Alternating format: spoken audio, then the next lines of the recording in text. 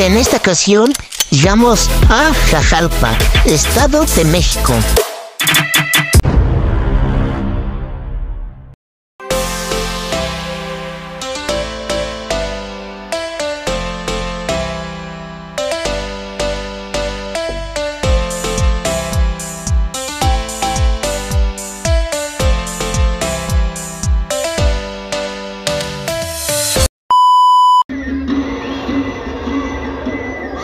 En esta danza de los tecuanis, Danza teatral que representa la cacería del tigre y que se practica en varios estados de México, entre ellos Puebla, Morelos, Michoacán, Estado de México, Guerrero.